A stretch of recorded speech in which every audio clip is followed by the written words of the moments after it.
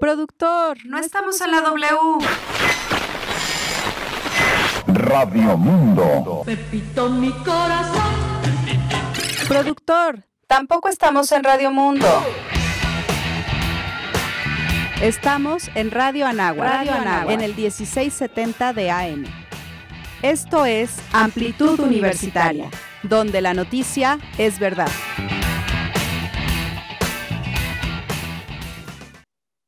Amigos de Amplitud Universitaria, ¿cómo se encuentran? ¿Cómo están el día de hoy? Bienvenidos a una edición más de este su programa de cabecera, que se transmite todos los miércoles de 12 a 1 de la tarde a través de Radio Anáhuac. Eleva tus sentidos. Eh, pues en esta edición del 27 de enero de 2021, después de eh, pues muchísimos meses en el encierro, muchísimos meses en medio de una contingencia sanitaria que parece no tener fin, sin embargo, pues bueno, aquí al frente y con todas las ganas y el deseo de compartir con ustedes un momento aquí en, su- eh, en los micrófonos de Amplitud Universitaria, eh, agradezco y saludo con muchísimo gusto al capitán de la nave, al director de la orquesta y al que le mete dinero a la nómina. Mi estimadísimo Toño de Landa, ¿cómo te encuentras el día de hoy? Mi estimado Uriel Arteaga, compañero, amigo, antropólogo social, eh, doctor, miembro reconocido de distintos grupos sociales, eh, un ejemplo, un auténtico líder de acción positiva. Muy contento, como todos los miércoles, estar aquí en Amplitud Universitaria, eh, de poder aquí compartir con el auditorio desde nuestras casas, en este que ha sido como el día a día de ya prácticamente un año, y, y también pues, prácticamente un año de,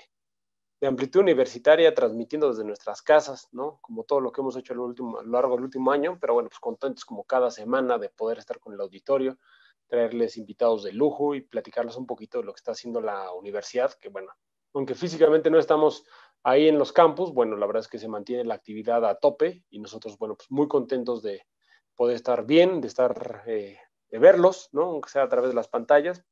y ya, pues, justo, y contentos de coincidir, mi estimado Uriel Arteaga, la semana pasada todo el mundo preguntaba, ¿dónde está el señor Uriel Arteaga? Y así, múltiples fans para alrededor del mundo preguntando dónde estaba el señor, que bueno, siempre decimos que andas, eh, eres de las pocas personas que sigue yendo a los campus para mantener eh, señalización y que todo esté funcionando a la perfección. Sí, es correcto. Eh, sin embargo, pues bueno, afortunadamente el día de hoy nos tocó coincidir, estimado Toño de Landa, y pues agradecerle a todos los amigos del auditorio que, como bien lo comentas, se ponen en contacto con nosotros a través de las líneas de comunicación de Radio Nahuac, tanto en Twitter como en Facebook, como en Instagram, y que también ya nos siguen por ahí en, el canal institucional de Radio Nahuac en YouTube, y también aquellos que, pues, con todo el, eh, deseo del mundo y el placer nos eh, sintonizan o consumen el contenido que se genera para esta plataforma de streaming llamada Spotify, donde también ya nos pueden encontrar. Y este, pues muy contentos, mi estimado Toño. Efectivamente, la, la Universidad Nahuac, pues pese a que constantemente se están haciendo estos eh, anuncios de cambio de semáforo, que ahora, pues creo que nunca pasamos del semáforo naranja y solamente cambiamos de tonalidades de naranja, un naranja un poquito más fuerte, luego un naranja un poquito más tenue, más pálido. Sin embargo, eh, pues cuando creíamos que podíamos pasar a semáforo amarillo, tómala, pues que nos regresan a nuestros hogares y no ha cambiado la situación, pero la universidad pues sí, se mantiene eh, en movimiento. Eh, físicamente pues hay muchas modificaciones en cada uno de los campus, en el campus norte y en el campus sur, desde los accesos y hasta eh, pues los lugares más recónditos sigue habiendo movimiento, entonces por ahí estamos eh, presentes, ya les estaremos eh, pues eh, platicando los siguientes, en las siguientes ediciones de Amplitud Universitaria todo lo que está ocurriendo en los campus físicamente, todo lo que se está haciendo. Y pues bueno, la comunidad universitaria eh, no nos dejará mentir, la universidad no se detiene y cada quien está haciendo su chamba desde su frente y Amplitud Universitaria pues no es la excepción. Así es, mi estimado. Y justo te quería preguntar tú que tienes, o sea, para platicarlo un poquito al auditorio, yo he tenido la oportunidad de ir únicamente una vez a tanto a Campus Norte como a Campus Sur.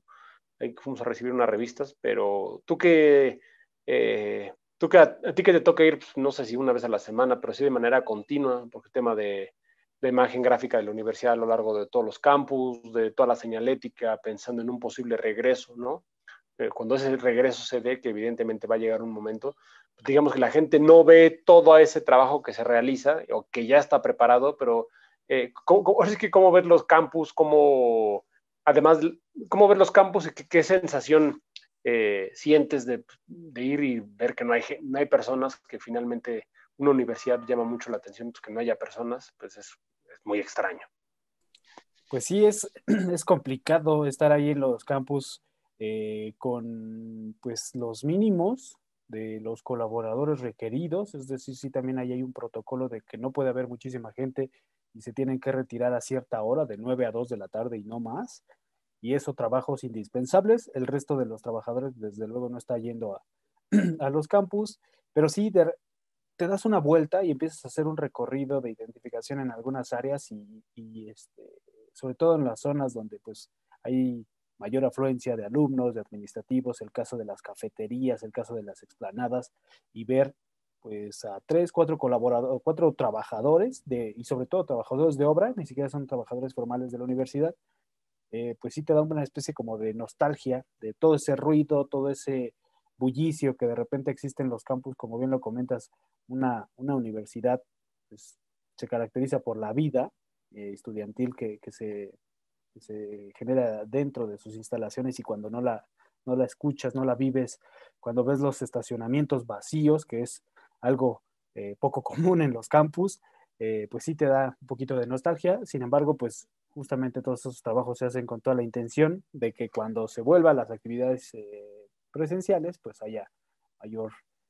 pues digamos, flujo, mejorar los accesos, mejorar la ubicación de ciertos servicios eh, indispensables, particularmente para alumnos y docentes.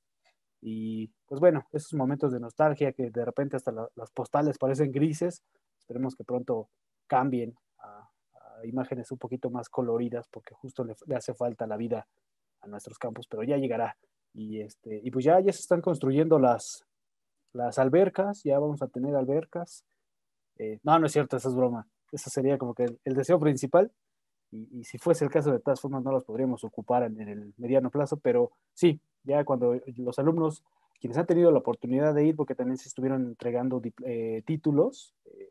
eh, sobre todo de licenciatura a finales del año pasado, pues se habrán dado cuenta que sí hubo ahí pues una modificación en la infraestructura considerable, pero pues ya, esperemos que para el próximo semestre, si todo va bien, que se retomen las actividades, pues ya se puedan encontrar con unos campus mucho más en forma, digámoslo así. Sí, la verdad es que eh, ahí de esas dos veces que he tenido la, la, posibilidad, bueno, una vez que fue una campus norte y una campus sur, hijo, sí, la verdad es que sí es como toda esa vitalidad o nosotros que recordamos como ese momento de ir a la hora de la comida y que no hay lugar, ¿no? Y que, por ejemplo, que estamos en épocas de fútbol y que de repente en las pantallas, tanto campus norte como campus sur, cómo se reúnen todos los alumnos a poder ver los juegos, una, dos de la tarde, hay un gran bullicio en, todas las, cafeterías de la universidad y de repente pues irlo y ver y todo el protocolo que significa poder entrar a la universidad, ¿no? Y es como, sí es complicado, ¿no? Es complicado, pero, pero bueno, parece que nos mantenemos en el, en el que al parecer ya cada vez estamos más cerca, ¿no? Ya empiezan a llegar a, a cuenta gota las vacunas, pero bueno, esperemos que, que pronto podamos ya regresar a los campus y ir a trabajar este, en el día a día como lo conocemos, que pues, yo, yo, pensaba, imagínate mucho, cuántas personas, o sobre todo los alumnos de primer ingreso, ¿no? Hay algunos que pues, ya venían como parte de la carrera y pues, no les tocó, digamos que pasaron al estudiar en casa, pero todos los alumnos que, y que entraron el semestre anterior y que entraron este semestre, pues no han conocido el campus, no han conocido esos campus donde van a estar, ¿no? Entonces, eh, bueno, que, que, estén, digamos, tranquilos que se están conservando a la perfección y que también la universidad está trabajando, y ahí, digamos, ahí estás tú directamente, mi estimado Uriel, estás trabajando, están trabajando en pues, todas las medidas de seguridad para un posible regreso, que bueno, hasta este momento parece todavía, pues digamos, un poco lejano, pero cuando se llegue a dar, pues está la universidad lista y preparada. Pues sí, así es que, como dicen por ahí, pues calmantes montes, todo va a llegar a su momento. Eh, esto no es una situación extraordinaria de la universidad, la verdad es que todo el mundo lo sabe, estamos en, situaciones complejas, pero lo importante es, es cuidarnos y un poco también la intención de este programa, mi estimado Toño de Landa, como eh, lo hemos comentado, si bien es importante dar a, conocer la información que ocurre dentro y fuera de la universidad, también es importante pues hacer este énfasis en la, en la, importancia de seguirnos cuidando y de todo lo que también está haciendo la universidad en torno a esta eh, pues campaña de concientización que se busca para eh, que no bajemos la guardia, nos lo han estado repetido en innumerables ocasiones en distintos medios de comunicación, lo importante de cuidarnos eh, los unos a los otros y pues la universidad en este arranque de 2020 implementó una campaña de concientización justamente para pues retomar ¿no? lo que de repente se nos empieza a olvidar de, el cuidado individual y el cuidado colectivo que hay que retomar constantemente y hacerlo parte de nuestros hábitos. Esperemos que pues de aquí a, en adelante se queden como hábitos positivos, ¿no? Quizás el cubreboca sería lo, menos, eh, lo menos cómodo para, implementar, pero el, cuidado de lavado de manos, la desinfección de productos, la sana distancia, evitar las conglomeraciones y demás. Eh, y justamente en este, en este mismo tenor, eh, la universidad, pues desde el año pasado, desde tan pronto nos dieron a conocer la, cuestión de la pandemia, pues generó un, micrositio, el, famosísimo Plan Regreso Seguro que también implementó la red de universidades de Anáhuac. Y en el caso de la Universidad de Anáhuac, México, pues contamos con un micrositio donde eh, cualquier miembro de la comunidad universitaria y cualquier no miembro de la comunidad universitaria puede encontrar información relevante y relacionada con COVID-19, como recomendaciones, eh, lineamientos de higiene, algunos eh, instrumentos que le pueden servir para, en caso de que no se haya enterado a través de otros medios de comunicación, pues desde luego también la información que se genera desde la academia es muy importante relacionada con el COVID. Así es, y esta página que se creó al inicio de la pandemia, que es www.anahuac.mx México diagonal COVID-19, justo esta que estás mostrando, y ahí es como pues, la gente puede encontrar eh, cosas, información, digamos, veraz, tanto de investigadores, de protocolos para, eh, temas de, por ejemplo, de los restaurantes, para, mil, o sea, para mil y un cosas pueden encontrar información de gran valor, además de las noticias de, que va generando en el día a día la universidad. Se mantiene vivo, digamos, este, eh, este, este portal y, y ahí es como por ejemplo, hay distintas, distintas áreas de la universidad. Al inicio me acuerdo que les compartíamos como información como muy básica, ¿no? Como el, pues cómo lavarse las manos, eh, cómo lavarse las manos con gel, cómo generar gel antibacterial y así. Pero también ahí la universidad ha hecho distintas eh, acciones. Por ejemplo, está el caso de las cátedras de investigación, que han estado trabajando en investigaciones en concreto para poder eh, desarrollar y compartir soluciones para pues esto que estamos viviendo en la pandemia eh, justo lo que ustedes ven en pantalla en la parte un poquito superior, eh, si, ahí les comparto mi estimado Uriel, ahí, bueno, la gente de radio, uno, uno de los grandes eh, trabajos que ha realizado la universidad a partir de investigadores de la Facultad de Ciencias de la Salud es este, es este libro, la gente de radio que no lo ve, digamos, este, no lo está viendo, es el libro que se llama En la batalla contra el pequeño gran monstruo, son líneas terapéuticas para el frente del COVID, que es un libro que ha tenido un gran impacto en, la, en, pues México y sobre todo en América Latina, tiene una gran cantidad de descargas y vienen como protocolos para hospitales eh, de, y cómo ir reaccionando, cómo tratar a los pacientes. Eh, la verdad es muy, muy interesante el libro, se lo recomendamos muchísimo, ahí eh, justo lo están viendo en pantalla, pues tiene más de ya prácticamente 5.000, prácticamente, sí, prácticamente más de 4.000 descargas, ¿no? Tanto el libro salió en 2020, en diciembre de 2020, y ya en prácticamente dos meses la verdad es que ha tenido un, un gran impacto en la comunidad este, eh, médica, le repito, en México y en América Latina. Y entonces eh, la verdad es que la universidad ha hecho distintas cosas, entonces finalmente, pues, eh, esto que volvemos a retomar de nosotros con ustedes, decir, a lo largo de todo el año sí les hemos platicado del COVID, de acciones, hemos tenido invitados, pero eh, también este de retomar, el, pues, ir, yo diría, los principios básicos de lo que fue el COVID y de lo que es el COVID,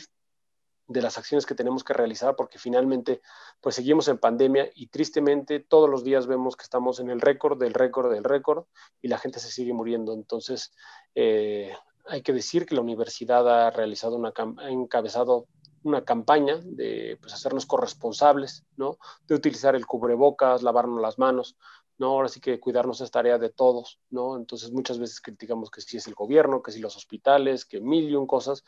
pero nosotros también somos como responsables como ciudadanos, entonces finalmente la universidad, bueno, pone todas estas herramientas al alcance de ustedes. Y pues volver a estos principios básicos, mi estimado Uriel Arteaga, yo recuerdo cuando al inicio de la pandemia tuvimos al doctor Víctor Matamoros, que él es como el responsable, digamos, toda la parte de las acciones que ha realizado la universidad en el tema de la pandemia, en tema de salud, revisábamos cómo íbamos al básico de cómo lavarte las manos y te daba risa cuando nos explicaban de cómo lavarte las manos, pero también nos dábamos cuenta que siempre nos hemos lavado mal las manos, ¿no?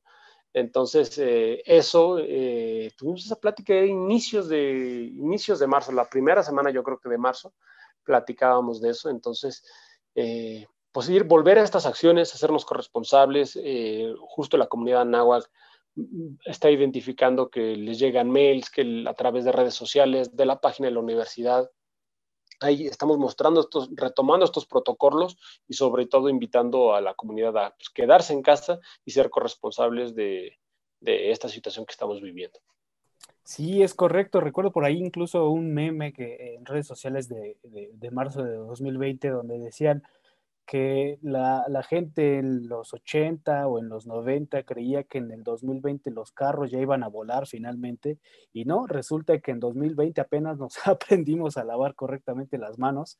Eh, sí, efectivamente son cosas como muy básicas, pero que eh, insistimos que hay que adoptar como, como ya medidas básicas de, nuestra cotidianidad, el, cuidado eh, de la sana distancia, el estornudo de etiqueta, evitar las conglomeraciones en la medida de lo posible, evitar salir de casa si es posible. Eh, entendemos que mucha gente pues tiene que trasladarse a sus eh, espacios de trabajo o eh, digo, creo que al menos no conocemos alguna institución educativa que esté dando clases presenciales, lo cual de alguna manera pues es benéfico para mucha parte de la, de la sociedad mexicana. Sin embargo, si hay gente que se tiene que trasladar a sus centros de trabajo, que lo hagan con todas las medidas posibles de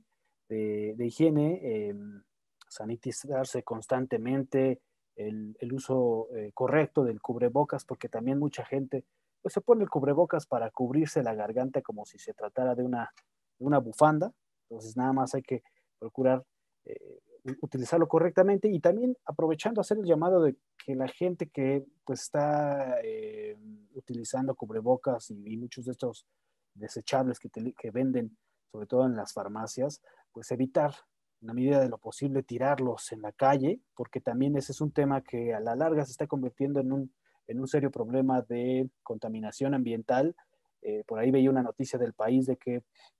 en Francia se logró eh, pues disminuir la cantidad de contagios justamente por el uso correcto del cubrebocas, sin embargo, pues también se convirtió ahora en un punto rojo, en un foco rojo, la contaminación en los océanos, porque mucha de esta, muchos de los cubrebocas terminaban allí, ¿no? Finalmente eh, hay que ser corresponsables, hay que cuidarnos, pero también hay que eh, evitar eh, en la medida de lo posible pues afectaciones, digamos, indirectas, como el caso de afectación al medio ambiente. Y, también, mi estimado Toño, aprovechando esta, esta, este micrositio, este landing que se implementó en la, Universidad de Anáhuac, que, que, usted lo puede encontrar en www.anáhuac.mx, diagonal México, diagonal COVID-19. Ahí también van a encontrar eh, un cuestionario que se implementó apenas esta semana, hace, hace dos días, el lunes 25 eh, de enero, donde los miembros de la comunidad universitaria pues pueden em, responderlo en caso de que así lo requieran si es que viven o han sido diagnosticados con COVID-19. El, el cuestionario es un cuestionario de autorreporte, es decir, yo vivo eh, quizás con alguien contagiado con COVID en mi casa, quizás no es grave o quizás lo sea. Entonces, de inmediato yo tengo que prender estas alarmas para que la misma universidad, el Comité de, Salud eh, COVID-19 de la universidad, me dé seguimiento puntual, porque no sabemos si de repente pudimos tener contacto directo con algún miembro de la comunidad y pues por un simple tema de precaución, ¿no? Hay que, hay que estar eh, siempre en, el foco de las autoridades para que ellos sepan cómo canalizarnos, de qué manera nos pueden apoyar. Entonces, este eh, cuestionario de auto, de auto, em, pues sí, el, formato de autorreporte, perdón, de casos sospechosos o confirmados de COVID-19, pues también está disponible ahí en el, en el landing de www.nahuac.mx, diagonal México, diagonal COVID-19. Sí, y estar al pendiente siempre de ahí, de, la gente que está a nuestros alrededores, decir, bueno, fíjate, tengo un contacto. Esto que hablamos hace ratito de la corresponsabilidad, pues es muy importante porque finalmente, no solamente en la universidad, si vamos a hacer un trámite o cualquier cosa, siempre decir, bueno, fíjate que tengo un caso cercano de, la verdad es que ahorita mejor me guardo, o eh, tomar las, las precauciones necesarias para evitar el contagio, porque pues, todo se sigue propagando y así. Y justo en ese sentido también parte de las acciones como de lo que en los últimos últimas semanas en el último mes se han mencionado muchos, esto es como de evitar estas 13, que uno es evitar los lugares cerrados con, con poca ventilación, evitar los lugares concurridos o abarrotados de personas. Pareciera broma que estemos diciendo esto a un año de la pandemia, pues que sigue sucediendo y evitar también el contacto cercano eh, como conversaciones cara a cara con otras personas, ¿no? Que finalmente yo creo que algo de lo que pasó fue que como comunidad o sociedad, no solamente en México, sino en el mundo, le fuimos perdiendo un poco de miedo a la pandemia, fuimos tratando, creyendo que la, la conocíamos, que la dominábamos y que podíamos convivir eh, de repente en grupos grandes y no, la verdad es que la pandemia sigue, entonces aunque muchas veces o muchos de nosotros no seamos grupos vulnerables, bueno, ser corresponsables de justo lo que comentabas, ¿no? Que de repente tenemos abuelos o conocemos gente que está enferma y así, entonces finalmente es muy importante el podernos cuidar para poder cuidar a los demás. Es correcto, y pues bueno, eh, desde aquí, desde la amplitud universitaria, hacer este llamado para la corresponsabilidad, porque cuidarnos es tarea de todos, y em, pues a, darle con todo, ¿no? No bajar la, la, guardia, ya poco a poco vamos avanzando en esto, aunque siga habiendo casos de, casos positivos de COVID y desde luego desafortunadamente también aumentan los casos de fallecimientos en nuestro país, pero pues hagamos lo que nos toca, que tampoco es tan complicado, tampoco nos cuesta realmente mucho trabajo no salir eh, los fines de semana con los amigos. Eh, sabemos que ya se extraña pues, estar en la calle libremente y sin un cubrebocas, pero por el momento pues hay que seguirnos cuidando. Y mi estimado Toño de Landa, para no alargarnos y porque sabemos que el 99.9% de las personas que, nos eh, siguen a través de nuestras cuentas y desde luego también están atentos de esta transmisión en vivo de Amplitud Universitaria, ya desean eh, y se truenan los dedos por saber las efemérides del día de hoy y para no faltarles esta bonita tradición, así como la tradición se ha vuelto eh, utilizar un cubrebocas y estar en, su, en casa, pues también una bella tradición de Amplitud Universitaria, esto de las efemérides, para que lleguen pues con algo, algo que decirle a la familia o a la esposa o al marido o con quien vayan a consumir los sagrados alimentos en unos cuantos minutos, pues decirles que el día de hoy, un día como hoy, pero de 1968, el 27 de enero del 68, eh, David Gilmour entraba con todos los honores a formar parte de las filas de esta extraordinaria banda Pink Floyd y sustituyendo al gran Sid Barrett que nos dejó y prefirió darse una vuelta por el viaje astral y dejar este plano terrenal. Sin embargo, pues bueno, era sustituido por el grandioso David Gilmour que hasta la fecha pues sigue peleándose eh, pues los derechos de todas las canciones y de todas las presentaciones en vivo de, Pink Floyd. Hay unos roces extraordinarios con Roger Waters que a la fecha pues siguen dando mucho de qué hablar. Y también un día como hoy, de un 27 de enero, pero de 1945 también, eh, como parte de las filas de esta banda de Pink Floyd, eh, nacía eh, Nicholas Berkeley Mason, mejor conocido Nick Mason, era el productor, escritor y baterista de esta extraordinaria banda Pink Floyd. Es correcto, mi estimado Ariel. Y también, bueno, verdad que mencionas a Nick Mason, por ahí había un, y recuerdo bien el nombre del documental de, en el que justo habla Nick Mason y Roger Waters, de, pues, un poco de cómo fue el proceso creativo de Pink Floyd y así, y porque nunca se ha dado y es probable que nunca se dé eh, un, este, que vuelvan a tocar juntos, ¿no? Y eso me daba mucha risa de Nick Mason que lo volteaba a ver a Roger Waters así con una, con una sencillez así como de, pues, no, se ha dado, porque les hacían esa pregunta, ¿no? De por qué no se han reunido y decía, y Mason le decía, pues porque, porque eres muy complicado, ¿no? O sea, se reían así como, pues porque tú nunca vas a querer, el ego lo tienes demasiado grande, ¿no? Eh, y bueno, pero sí, la verdad, eh, justo creo que son de las bandas que en reiteradas ocasiones, ya sea que compartimos música o que platicamos de, de, Pink Floyd, la verdad es que siempre hablar de ellos es como, nos sigue maravillando. Hay discos y discos que se vuelven eh, inmortales, ¿no? Y que yo diría que son atemporales, ¿no? Nunca se escuchan viejos. Eh, también un día como hoy eh, nació Wolfgang Amadeus Mozart, músico austriaco, 1756, un 27 de enero, que más allá de si les gusta mucho o no la, la música clásica, es muy recomendable que vean la película, se llama, justamente se llama Amadeus, trata sobre la vida de Mozart, y la verdad, muy, un genio creativo, la verdad es muy recomendable que vean, que vean la película. Y, un día como hoy también, mi estimado Uriel Arteaga, un día importante, es la conmemoración del Día Internacional en memoria de las víctimas del Holocausto, ¿no? Eh, ¿Cuánto no se ha escrito del Holocausto? ¿Cuánto no se ha escrito del Holocausto? Pero finalmente este tipo de fechas y que lo hacemos constantemente en amplitud universitaria de, de retomar estos días internacionales, es como finalmente la importancia es de seguir creando conciencia, ¿no? De repente creemos como, ay, no, eso fue hace muchísimo tiempo y eso nunca va a volver a suceder, y de repente llega un político en cualquier país del planeta y nos hace temblar a todos cuando comienzan las violaciones de derechos humanos y así. Entonces, este momento de la historia, el holocausto, es un momento para revisitar y siempre y del que hay que seguir hablando siempre, ¿no? Tenemos el gusto de que mucho, bueno, mucha comunidad judía es muy cercana a la, toda la comunidad náhuatl, ¿no? Tanto estudiantes como en temas de investigación o en temas de vinculación, tenemos una gran cercanía con la comunidad judía. Entonces, bueno, finalmente, este tipo de días siempre recordar, ¿no? De, de, de lo malo que puede llegar a ser el ser humano. Y entonces, bueno, un día como hoy, un 27 de enero, celebramos el Día Internacional de la Conmemoración en Memoria de las Víctimas del Holocausto. Sí, es correcto, un 27 de, de, enero del 45 comenzaban a llegar los, los tanques soviéticos ya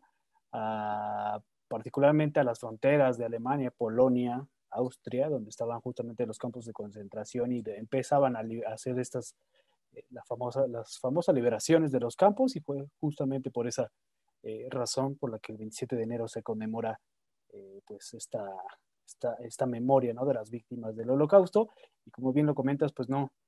eh, no, no hay que perder de vista ninguno de estos hechos históricos porque en su momento pues fue la persecución o la segregación algo legal, algo aceptable dentro de una misma sociedad y pues eso nos hace recordar que no porque sea legal y no porque sea aceptable quiere decir que esté éticamente correcto o moralmente adecuado para,